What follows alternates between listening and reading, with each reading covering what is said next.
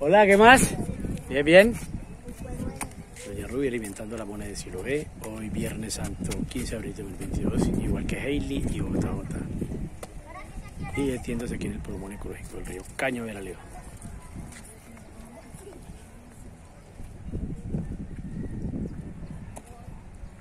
Mal genial, la pone mal genial.